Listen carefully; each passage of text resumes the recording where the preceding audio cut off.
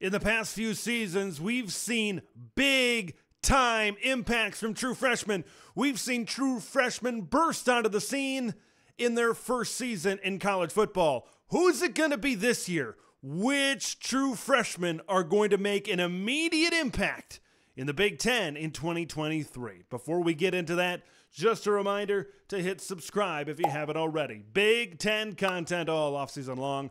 Always crush that like button to spread the word of Big Ten Ted to the masses. I didn't want to pick guys from multiple positions. Like I didn't want to put two or three wide receivers on this list. I didn't want to pick guys from the same school. I didn't want to pick a couple of guys from Michigan, a couple of guys from Ohio State, a couple of guys from Wisconsin.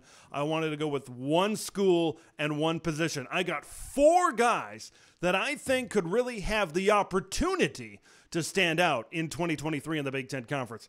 I want to start with a wide receiver at the wide receiver factory, the Ohio State University, and it's Carnell Tate.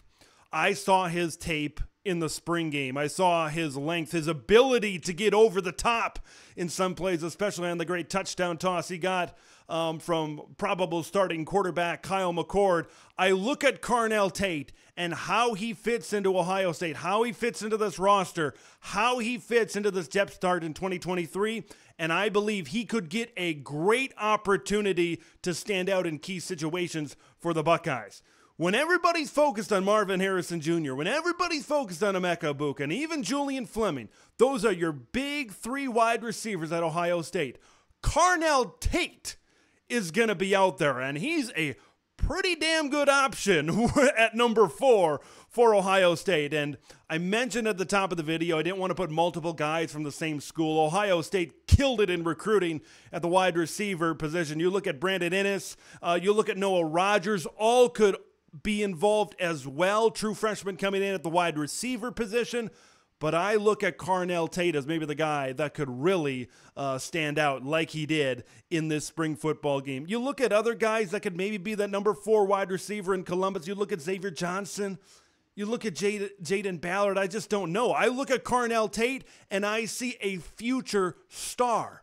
When you look at who's it going to be after Marvin? Who's it going to be after Emeka? Who's it going to be after this current crop of Buckeyes at wide receiver? It's going to be Carnell Tate. And Carnell Tate is going to be in key situations where those three guys are on the field, and maybe he's the fourth uh, wide receiver in in a one running back set for the Ohio State Buckeyes.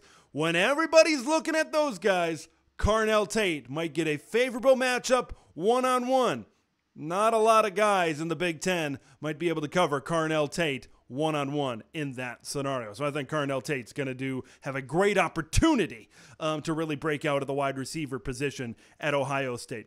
The next guy I want to highlight is Bai Jobe, number one player in the state of Oklahoma this year, edge rusher at Michigan State. Now, before I say this, Michigan State is going to have a good front seven this season.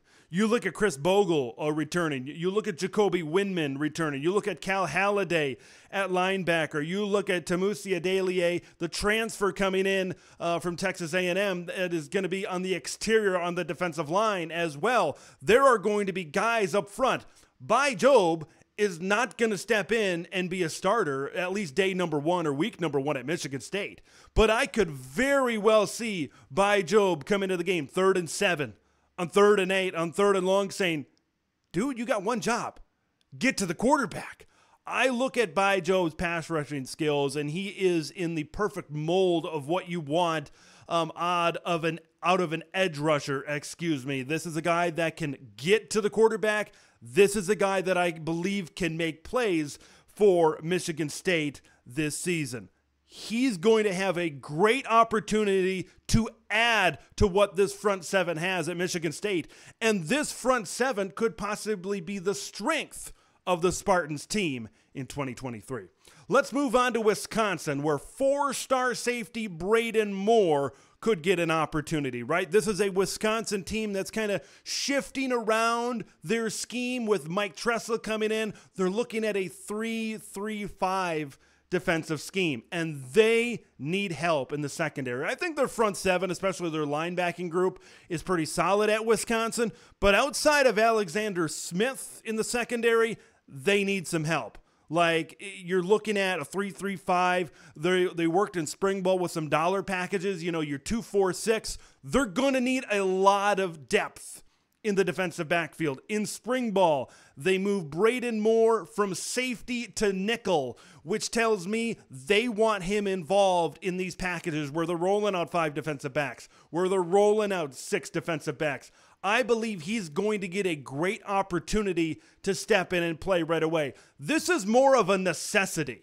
I look at Braden Moore. I think he's a solid player. I think he's going to be a solid player at Wisconsin. He's going to get an opportunity out of necessity. Wisconsin's looking for some guys in the transfer portal to kind of fill in the back end of their defense. Braden Moore might just have to step up in that type of situation. This is all about opportunity with freshmen. This is about opportunity. Braden Moore is going to have that opportunity. The last guy I'm going to stick with here in my impact freshman list Darius Taylor, running back at Minnesota. How do you replace Mohamed Ibrahim? You don't, at least not with one guy. This is going to be a stable of running backs at Minnesota. This is going to be a rotation. It's not just going to be Sean Tyler. It's not just, just going to be Zach Evans. It's sure not going to be just Darius Taylor, Bryce Williams.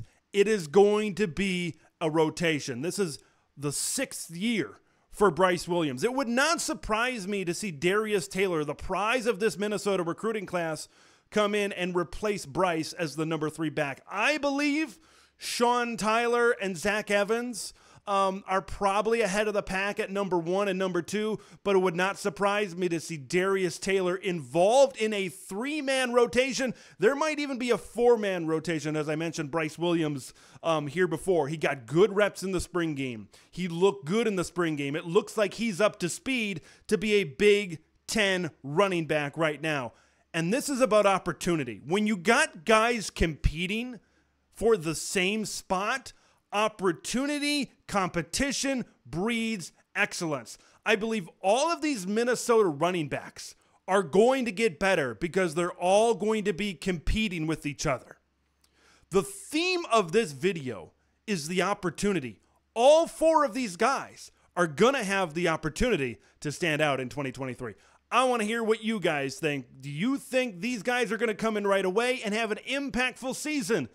In the Big Ten. Would you have put in some other guys on this list as well? Let me know your thoughts in the comments below.